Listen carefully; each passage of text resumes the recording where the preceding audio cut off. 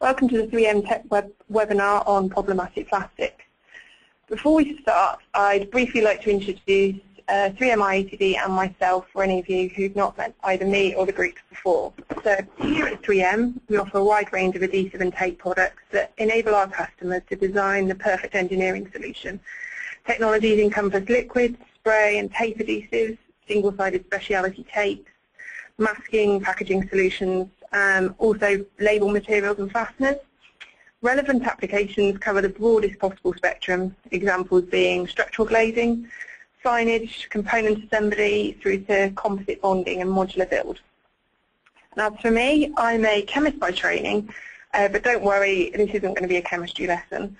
Um, I joined 3M as an analytical chemist back in 2002, uh, sorry, 2003 even, uh, where I worked as a troubleshooter for issues with any of the 3M range of products. So that was anything from medical to industrial, uh, personal protective equipment through to electronics. I made the move to the tapes and adhesives business in 2007 uh, where I've specialised in the adhesives side of the portfolio. And today I'm going to be covering three main areas. Um, first we'll start with a brief setting of the scene, so why are we talking about plastics and why tapes and adhesives.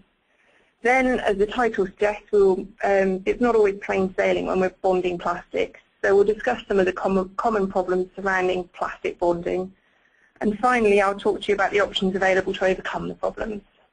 So let's get started. So why are we talking about plastics today? Well, in these tough economic times, it seems that there isn't a week that goes by uh, where the rising cost of goods, energy, fuel um, don't make it into the news. So while at home you might be reviewing whether to switch to supermarket own brands to conserve some cash, um, in industry we're also looking for ways to, to, to reduce costs.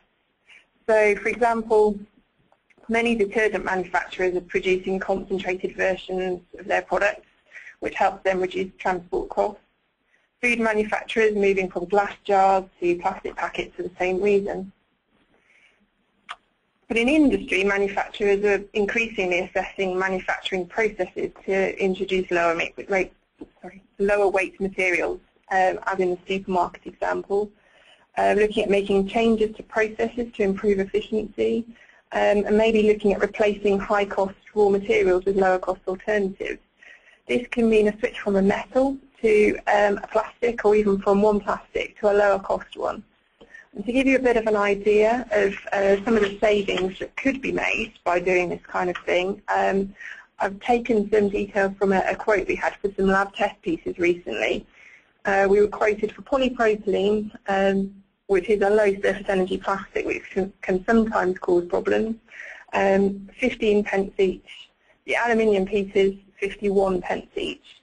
Um, so you can see that polypropylene can be a third of the price of some metals. Some of the higher surface energy plastics, polycarbonate, acrylic, PVC, kind of thing, came in at about 30 pence. So there is quite a big difference in, in prices there. So why are we talking about tapes and adhesives? Well, apart from the obvious that 3M IATD are a tapes and adhesive supplier, um, what are the other reasons that it makes sense to be talking about tapes and adhesives today? We'll start with aesthetics. Improved aesthetics um, can be achieved by using tapes and adhesives. You get an invisible fix, so there's no unsightly mechanical fixings, holes, read-through, anything like that. A second reason would be process improvements. There's no need to drill holes to take a mechanical fix. That removes the process steps. And that leads nicely into our third reason for talking about tapes and adhesives today. Time savings. Fewer processes or fewer process steps save time. Tape solutions can give an instant bond and, finishing and rework processes such as grinding, polishing, that kind of thing. Another reason we'd look at tapes and adhesives would be sealing. Because you've not drilled a hole for a mechanical fix, you haven't introduced a new leak path for moisture, uh, and by picking certain adhesives, you can actually use them to seal the joint at the same time that you're bonding. Performance is another reason. Uh, tapes and adhesives can distribute stress over a bond line rather than concentrating it in mechanical fixing. This allows greater design freedom and potential to use a lower gauge material, which could potentially reduce your transportation costs for your final finished goods. Excuse me.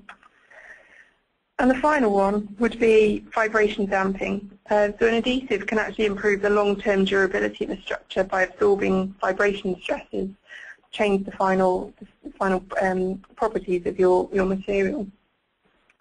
So I hope this shows how a combination of using a, a tape or an adhesive with a plastic could have a number of benefits in the current climate.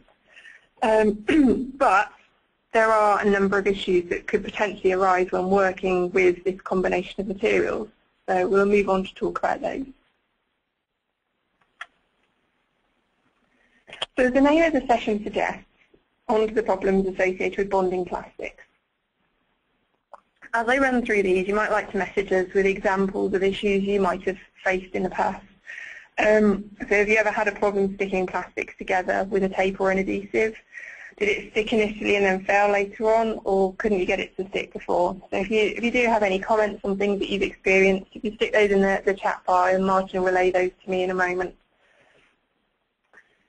with these kind of issues, it's very easy to blame the adhesive. Um, but if we understand the issues that the adhesive is facing when it's trying to bond to a surface um, and select the correct type of adhesive to overcome that, we can, we can form some very strong permanent bonds. So what are the common plastic problems? Mold release on the plastic surface is a common one. Um, we generically call this a weak boundary layer and it's one of the easiest problems in this area that we can resolve. So we can uh, we, we'll look at that in a moment. Plasticizer migration is another issue that comes up. It's not an issue that's seen initially. You can form a good bond, but over time the adhesive can soften and ultimately the bond may fail. A third area would be low surface energy. So this is where a plastic is behaving like a, a non-stick surface and nothing seems to want to bond to it. And finally, a, a, second type of weak boundary layer. So this is, this is material that hasn't been added to the surface like a mold release, but is actually blooming from your plastic onto the surface, but again acting like a weak boundary layer. So Martin, have we had any comments come in? Just looking across. Um, so people are having had problems bonding to ABS and uh, polyethylene. Polyethylene is a classic low surface energy uh, plastic. Um, so that would fall into the low surface energy category. Um, do we have any others? I've had another one from Simon. and he seems to have problems with labels, labels that seem to stick well to begin with, but then they often fall off. Which sounds like a, a plasticizer migration issue, and we'll talk a little bit about that. Have any others coming uh, through? Another one around um, things won't stick to some certain types of plastics. So again, that fits with the, the ABS and the polyethylene, uh, polyethylene uh, side of things. So we're dealing with the low surface energy side of things. So it's sounding like some of you have experienced these problems. Hopefully someone was able to sort you out with a solution to those. Um, so bonding polycarbonate in clear windows. Okay, so another another one around substrate. So hopefully as we move through the, uh, the problems, what they actually are and how to solve them. We'll look at some of the, the, the solutions that, um, if you didn't find them at the time, uh, that 3M should be able to help you with in the future if you come across those again. So we'll start with first with the easiest one, and actually encompasses two of the areas that I mentioned there. I've grouped them together under the title weak boundary layers. The weak boundary layers aren't specific to plastics. The term describes any material that sits on a substrate surface, um, preventing the adhesive making contact and therefore bond to the surface. So in metal, like in this image here, um, this could be a layer of rust, could be a layer of oil, or on any other any surface, it could be dusty or dirty, like the, the, the second image there. In the case of plastics, a weak boundary layer is typically um, either a mold release agent or a material that's bloomed out of the plastic. Um,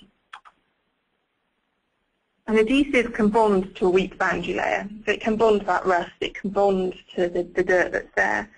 Um, but if that layer is not strongly attached to your substrate, the construction is left with a weak point and it's likely to fail at that point.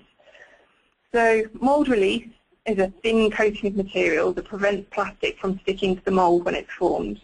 Now, as you can imagine, it's inherently unsticky, and therefore any left on the plastic surface will resist bonding as well as acting as a weak boundary.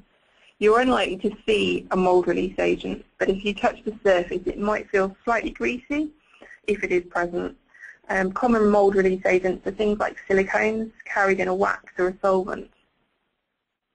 The second of, type of weak boundary layer that we come across with plastics is bloom of additives. Um, they also form an invisible layer that you, you, you won't see on the plastic surface. Uh, plastics are made up of long chains of polymer material, but in amongst those long chains there are also smaller, shorter chains and other additives that fit in with that, those long chains of plastic, things like plasticizers. And in some grades of plastics, these shorter, smaller molecules are loose and can actually bloom to the surface and, and block the bonding process. Both of these problems, as I said, are fairly easy to resolve just by cleaning the surface. But the thing to remember when you're doing that is to use a cleaner that doesn't replace one weak boundary layer with another. Uh, so use an alcohol-based cleaner, something like 3M VHB surface cleaner, rather than products like TERPs, which leave an oily residue, which again acts like a weak boundary layer. So we'll move on to the uh, second of our key problems, plasticizers. So I mentioned on the previous slide that they can bloom to a plastic surface, but what are they and why are they a problem? The images here show a rigid plastic window frame and some rolls of plastic back tape. The main ingredient in both of these is PVC. So why are they such different materials? One's rigid, one's flexible. The answer is plasticizers. So I now invite you to um, answer a quick poll that we've uh, put together. Bear with us just a moment and onto the screen to pop um, a question for you. Slight technical glitch, it will be there in any moment, but just asking you which one of those contains the plasticizer, so the rigid material or the flexible material. Should be with you any second. Apologies for the slight delay.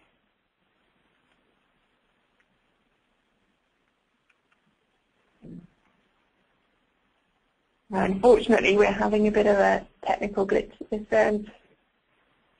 It gone live? Poll is open. Brilliant. So on your screen now, you should see uh, a quick poll there. So just invite you to pick which of the two materials, the window frame or the uh, rolls of tape, contains the plasticizer, just to get an idea of, of what, what we all think, which one has the plasticizer in it. We've got the results coming in. We've got about a 60-40 split. I'm wait a couple more seconds. 90% of you have voted, so to give of other people a chance to join. Now, I think we've pretty much everybody got an answer in. So, what was our result? We can see that we've got a nice split there. 65% of you thought the tape was the one that, that contained the plasticizer, whereas 46 thought it was the window frame. I can uh, reveal the results. It's actually the tape. Um, the UPVC, or unplasticized PVC window frame, is a rigid material, whereas the PVC used in the backing of the vinyl tapes is plasticized. The plasticizer softens the plastic, um, making it more flexible. So PVCs that are flexible contain plasticizer. The rigid material referred to as UPVC or unplasticized PVC is a rigid material. So it's an additive added to materials or added to plastics in order to make them more flexible. The most common materials for plasticizing uh, plastics are a family of chemicals called phthalates. In relation to the chains of molecules that make up the plastic, they're very small and they're able to move around in the plastic structure. And this is what allows them to bloom to the plastic surface. There are no plasticizers outside the plastic, but lots inside, so a diffusion gradient is created and they naturally move to the surface to try and balance out that difference. So why is this a problem?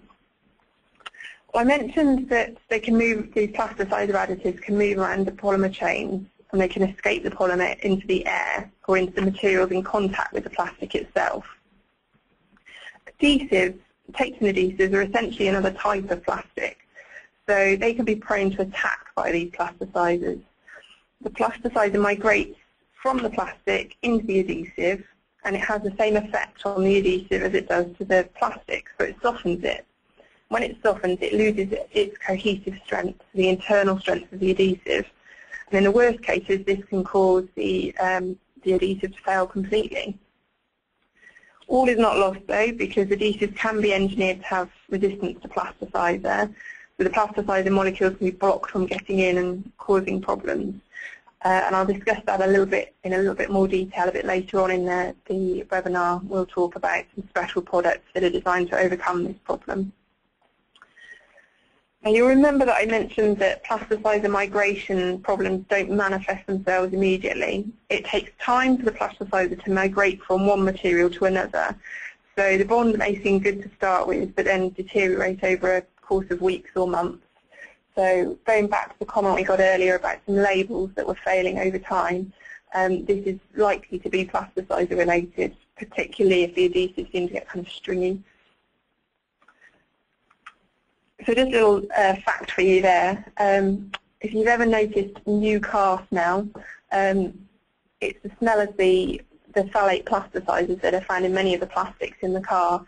Um, it's that coming out that gives that distinctive smell to, to new cars. It's also the material that can cause a slight fog on the inside of your windscreen, particularly in this warm weather. You might find that you need to clean that inside of the windscreen more regularly, and it's it's plasticizer and the low molecular weight, the small molecules in the plastics that are actually migrating out in the heat and uh, depositing on other surfaces. So if a plastic is known to or thought to contain plasticizers, um, obviously you don't want to wait for it to fail in order to determine that there is a plasticizer issue there. Uh, so there are ways of checking whether a material contains plasticizer and whether that's going to be a problem for the combination of your plastic and the adhesive that you're using. So typically what we would do would be to bond materials together. So you take your plastic, bond it up with your adhesive and expose it to an aging cycle. Um, typically that's 50 degrees C for 10 days or if you're needing results a bit quicker, 65 degrees for 7 days. And what this does is speed up the process of the plasticizer migrating from one material to the other um, and that can that highlights any partic sorry, potential issues um, they can be identified and resolved. So that's plasticizer migration. We'll move now on to the fourth area of, um, of problems that are, are, common to experience with plastics. That's low surface energy, or LSE is the other way you may hear it referred to. The, the, most basic requirement for an adhesive to form a bond to a substrate is good contact between two materials. Contact is made when the adhesive wets the surface. So if you think about raindrops falling on two cars, one's waxed, the other's unwaxed. The rain wets the unwaxed car but remains in little droplets like in the, the image on the screen um, and doesn't fully wet the waxed car. In this example, the two cars have different surface energies and that creates different levels of wetting. The surface energy is a property of a material that determines how well other materials can wet out on the surface. High surface energy materials attract other materials, attract things like adhesives, and allow them to make good contact. Whereas low surface energy materials like the wax car repel other materials. So in the case of the raindrops, it repel those, prevent them wetting out fully, um, and they don't want to make contact.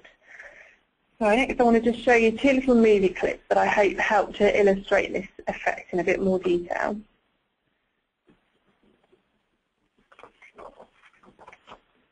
So in the first of these little films, um, a droplet of water is being placed on a surface. Uh, it doesn't wet the surface very well. It prefers to stay as a well-defined droplet. The low surface energy of the surface is repelling the liquid and the liquid prefers to stay in this defined droplet. In the second movie clip, the surface is much higher, higher energy, so the liquid is attracted to the surface, the droplet collapses in order to make good contact with the surface.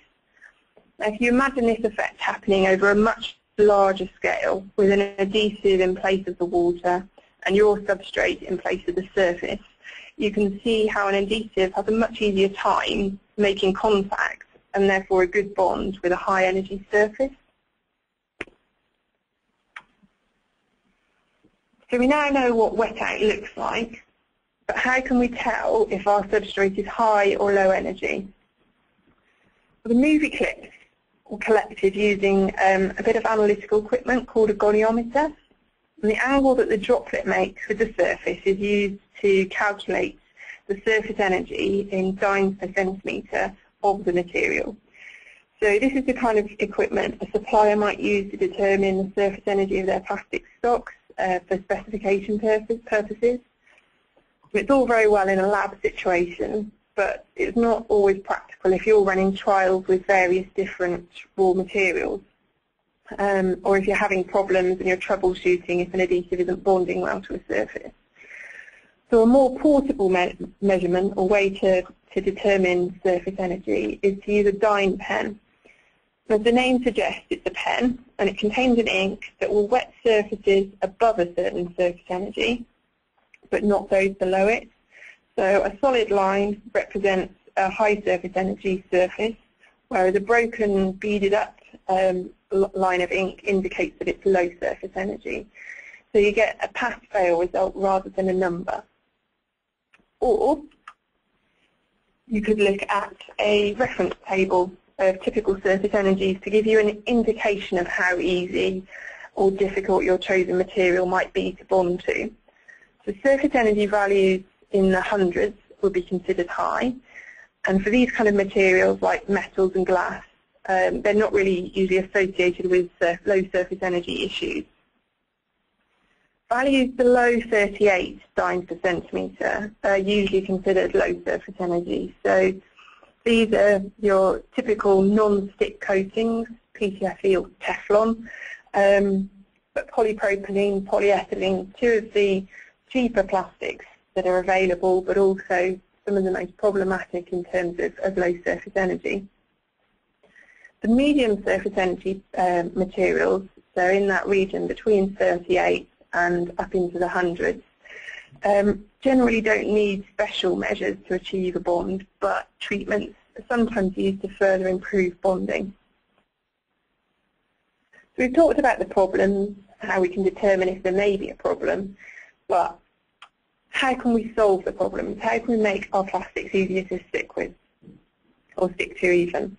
Um, one way would actually be to change our materials um, we eliminate the problem. This could be a move to a more stable plasticized product, uh, which releases less material. It could be a move to a higher surface energy plastic, or even a move away from plastics um, completely. Often this is easier said than done. A change of material can change the final properties of the device that's being constructed, and there can also be some cost implications of changing the materials that your components made out of.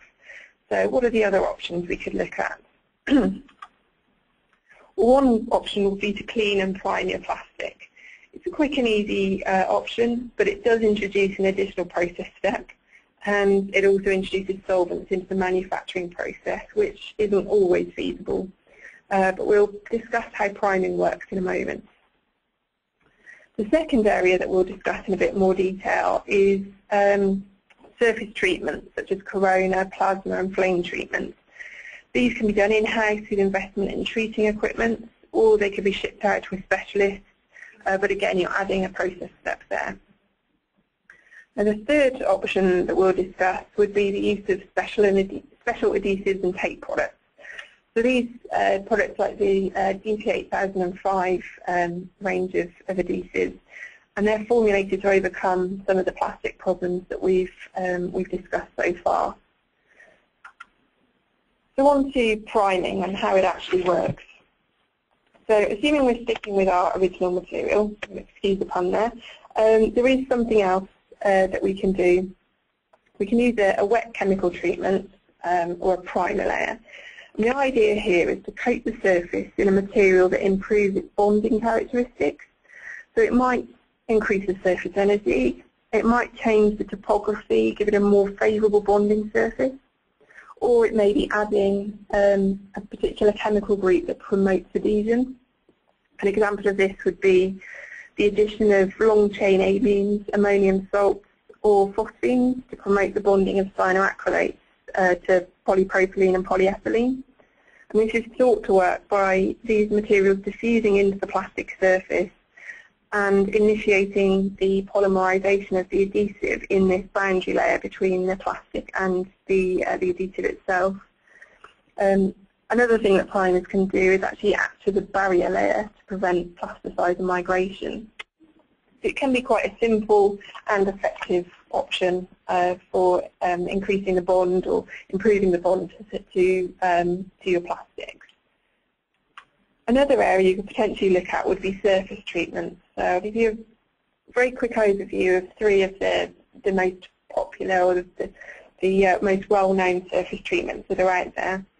Corona treatment. Um, so this is a visible electrical discharge. You can actually see in this image here the sort of lightning bolt type um, discharge here attaching to the bottle.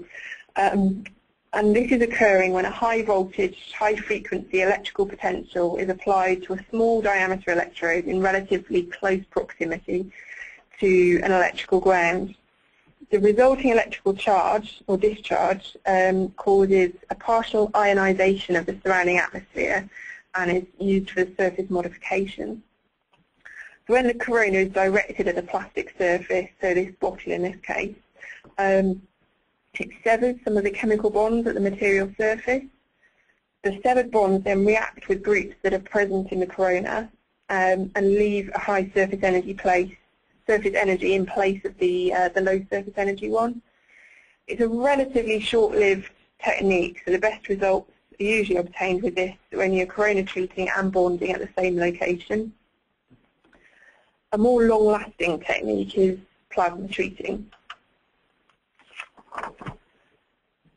So this, this can be done as an atmospheric plasma, so under normal atmospheric conditions, or uh, which tends to be very localized, or it can be vacuum plasma, which is more of a batch process um, that can cover larger, larger areas.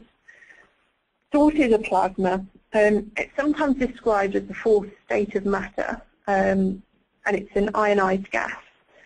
So if you imagine heating a liquid, it's in, in one state of matter, it's liquid. If you provide enough energy in the form of heat, it eventually changes state and becomes a gas. If you do the same thing with a gas and provide enough energy to that, it will become a plasma. The sun is actually a highly energetic ball of plasma. This ball of plasma at the surface obviously the sun, but the, the plasma treatment at the surface of the plastic both cleans and activates the surface. Um, it produces a, a chemical, state called a free radical, which is very, very high in energy and readily reacts with anything at the plastic surface. And it has a very similar effect to that of corona treatment in that the surface energy is improved. It is, however, longer lasting than a corona treatment. The third type of surface treatment that's commonly used uh, uses the same uh, principle, um, and it's called flame treatment. So as the name suggests, it uses a flame to treat the surface. And the, the distance between the, the web being treated um, and the flame is critical. If you get things too close, you're just going to char the surface of your web or your, um, your piece of plastic. So the aim is to expose the surface to the area surrounding the flame itself and this is an area where a plasma is created, so the effect is similar to that um, in, in flame treatment. It's similar to that in plasma treatment in that the surface is cleaned and the surface is activated. So there we've talked about a number of processes that you can use to clean and activate a surface for bonding, or in the case of priming, activate, and in some cases block plasticizer migration. But what if you wanted to eliminate these process steps and use a specialized tape or adhesive product? Now I'm going to talk a little bit about using these specialist products. Um, we're going to start with products that are designed for plasticizer resistance. So this top image here is a graphic designed to show you what happens when a plasticizer, um, when plasticizer migration occurs. The grid is representing our plastic, The green line is the surface of our plastic. And um, yeah, the grid is the adhesive, the green line is the surface of our plastic, and then the green circles represent our plasticizer molecules. Over time, they move into an area where there are fewer plasticizer molecules into the adhesive, causing it to soften. So how do we prevent this? Well, the first option is to include a barrier to this plasticizer migration. So this might be a primer, as we've mentioned before, or it might be a coating on a tape surface, which doesn't allow plasticizer to move through. A second option would be to use a different tape or adhesive uh, that has been made more resistant to the plasticizer. So in this case here, um, we have these additional additional lines added to the structure, which are representing a greater degree of cross-linking in our adhesive. what that does is actually block the path for the plasticizer molecules to move into the adhesive. They'd like to move in there, but there is no space for them to go. And a third option would be to um, load our adhesive with plasticizer. This gets rid of the um, gradient between plasticizer in the plastic and then outside so that there isn't that desire for the plasticizer to move from one material to another. And 3M have a range of different tapes and adhesives that can cope with plasticizer migration and they use one or other or a combination of these three different methods in order to make themselves plasticizer resistant. resistant. There are also special products for low surface energy substrates. So water forms droplets on a waxed car bonnet. We've mentioned that before. Uh, but it also wets out on a higher surface energy unwaxed car. But mercury forms droplets in the majority of surfaces. So why is this? Well, liquids have surface energy too, or surface, energy, surface tension as it's, it's termed. Mercury has a very high surface tension and it therefore prefers to stay in that droplet form that, that is very familiar to us. It doesn't want to wet a surface. Water is a more medium energy surface tension, so it wets some surfaces but not others. But if we move to a solvent such as IPA, so isopropyl alcohol, the surface tension is lowered and the liquid wets the majority of surfaces. So good wetting is a relationship between a wetting liquid and a wettable surface. A low surface energy material, which has a surface that does not like to be wet, can be married with a highly wetting liquid to get wetting. So low surface energy compatible adhesives use this relationship to get contact with a low surface energy substrate. They really want to wet surfaces, so the fact that the plastic is low surface energy is less problematic for them. It's also possible to add materials to an adhesive to allow it to prime a surface as it bonds. This gives the benefit of removing a process step by combining the priming and bonding steps in, into one. And again, for low surface energy substrates, 3M has uh, products, things like the DP8005 series that I mentioned earlier, which use these different um, these different processes in order to bond to low surface energy substrates.